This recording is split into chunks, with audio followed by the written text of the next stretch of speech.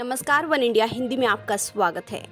राष्ट्रीय जनता दल आज, यानी सोमवार को अपना 25वां स्थापना दिवस मना रही है। लंबे अरसे बाद पार्टी प्रमुख और बिहार के पूर्व मुख्यमंत्री लालू यादव को सुनने को मिला।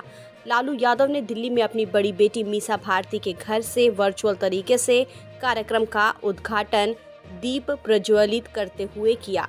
उनके साथ बड़ी बेटी के अलावा पत्नी राबड़ी देवी भी मौजूद रहीं।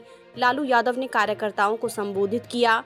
दिन भर चलने वाले कार्यक्रम के दौरान लालू प्रसाद यादव ने करीब साढ़े तीन साल के बाद पहली बार पार्टी के कार्यकर्ताओं को वर्चुअल संबोधित किया। स्थापना दिवस के अवसर पर लालू यादव ने पार्टी कार्यकर्ताओं को शुभकामनाएँ दी। कार्यक्रम की शुरुआत करते हुए उन्होंने कहा कि, साथियों राष्ट्रीय जनता दल के स्थापना दिवस पर आप सबको बधाई। किशनगंज से हम लोगों ने पार्टी बनाया, तब से हम लोग काम कर रहे हैं। मुझे अफसोस है कि मैं आप लोगों के बीच नहीं आ पाया, लेकिन बहुत जल्द आप लोगों के बीच में हम आएँगे। इसके साथ ही उन्होंने एलजेपी के दिवंगत नेता रामविलास पासवान को याद करते हुए उन्हें श्रद्धांजलि अर्पित की।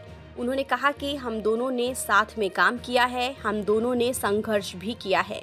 लालू यादव ने ये भी कहा कि आपको मालूम है, रामविलास जी की जयंती है। हमारे साथी भारत सरकार में मंत्री रहे, आज हमारे बीच में नहीं है।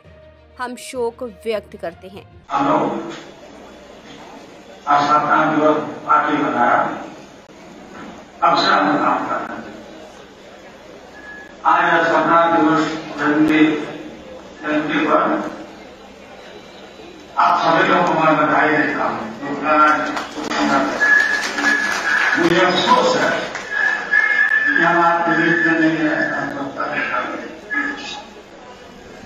बावली का बहुत देश नए दिन में हमारा आपके बीच में हम आएँगे और भाषण और जीवन का प्रोग्राम को शुरू कर दिया है और आगे आप उसको बढ़ाएँगे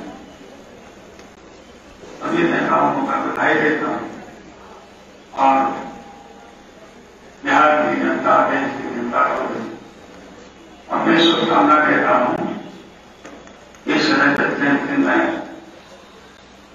आने के लिए सुनने के लिए आप सबको बहुत बहुत धन्यवाद नमस्कार आरजेडी के 25वें स्थापना दिवस कार्यक्रम के पहले सांस्कृतिक कार्यक्रम का आयोजन किया गया। इस कार्यक्रम के दौरान भरत शर्मा व्यास ने भोजपुरी निर्गुण गाए। इस दौरान तेजस्वी यादव, शिवानंद तिवारी, मनोज कुमार झा, डॉक्टर कांति सिंह, उदय नारायण चौधरी, श्याम रजक समेत सभी लोगों में कार्यक्रम को लेकर उत्साह दिख रहा था। सांस्कृतिक कार्यक्रम समाप्त होते ही मंच पर तेजस्वी यादव समेत पार्टी के सभी बड़े नेताओं को बुलाया गया। तेजस्वी यादव, शिवानंद तिवारी, उदय नारायण चौधरी, डॉक्टर मनोज झा आदि नेता मंच पर पहुँचे। इसके बाद लालू यादव ने कार्यक्रम का उद्घाटन किया। फ़िलहाल इस खबर में इतना ही। देश और दुनिया की तमाम खबरों के लिए आप बने रहिए वन इंडिया हिंदी के साथ।